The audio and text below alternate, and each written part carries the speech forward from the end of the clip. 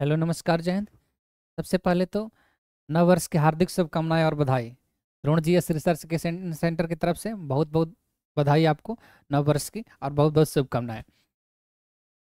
दरअसल, नए वर्ष में, नए वर्ष की शुरुआत में आयोग ने एक बहुत बड़ा नोटिस जारी किया है और ये आपके लिए बहुत बड़ा तोहफा है।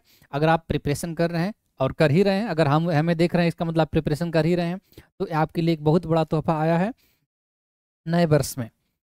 न पूछ कि मेरी मंजिल कहाँ है, अभी तो सफ़र का इरादा किया है। ना हारूँगा हौसला, चाहे कुछ भी हो जाए, ये मैंने किसी और से नहीं, खुद से वादा किया है और आपको वादा करना ही पड़ेगा। नए वर्ष में आपको वादा करना है, नए वर्ष में 2024 निकलना नहीं चाहिए। 2024 में सरकारी नेकर, नौकरी लेकर ही दम लेना है। जो तूफानों में पले जा रहे हैं, वहीं दुनिया को बदले जा रहे हैं। तो दुनिया को बदलना है, खुद को बदलना है। दुनिया को बदलने के लिए आवश्यक है कि पहले खुद को बदलें।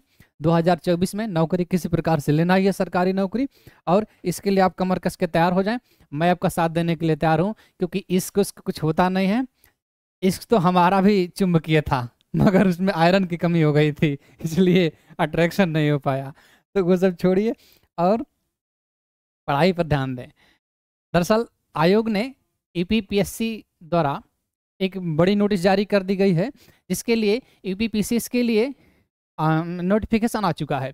ये आपके सामने है। उत्तर प्रदेश।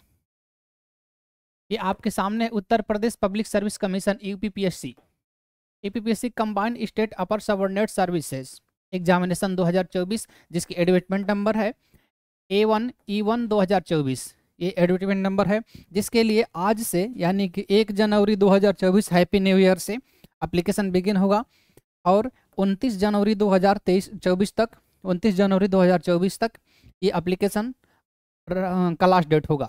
इसमें 29 तक ही ही पेमेंट का भी डेट होगा।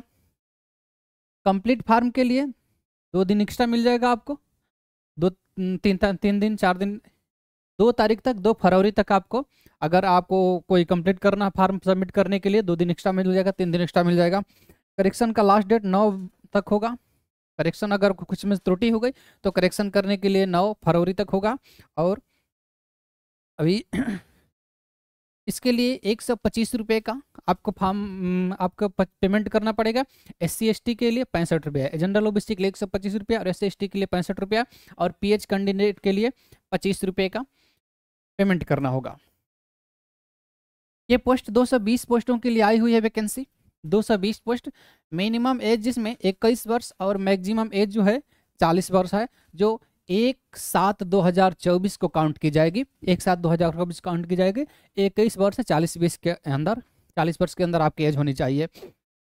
इसके लिए combined upper subordinate service E P P S C pre दो हज़ार चौबीस जिसके लिए ये पोस्ट है, पोस्ट नेम है और 220 वैकेंसी है। जिसमें bachelor degree in in stream in India. Bharat में कहीं से भी किसी भी यूनिवर्सिटी से आप बैचलर किए हों और बैचलर डिग्री अब आपके पास है तो आप इसके लिए एलिजिबल हैं। अच्छी वैकेंसी है तो आप इसके लिए तैयारी शुरू कर दें। मैं भी बैच चलाने वाला हूँ इसके लिए और एक दो दिन में पुलिस का बैच भी स्टार्ट हो जाएगा। कल परसों से, और इसके लिए भी एक दो दिन में स्टार्ट हो जाएगा बैच तो अभी के लिए इतना ही, हमें इजाज़त दीजिए, और चैनल को अभी तक सब्सक्राइब नहीं किया है आप तो सब्सक्राइब कर लीजिए, और इस वीडियो को अधिक से अधिक शेयर करें। धन्यवाद।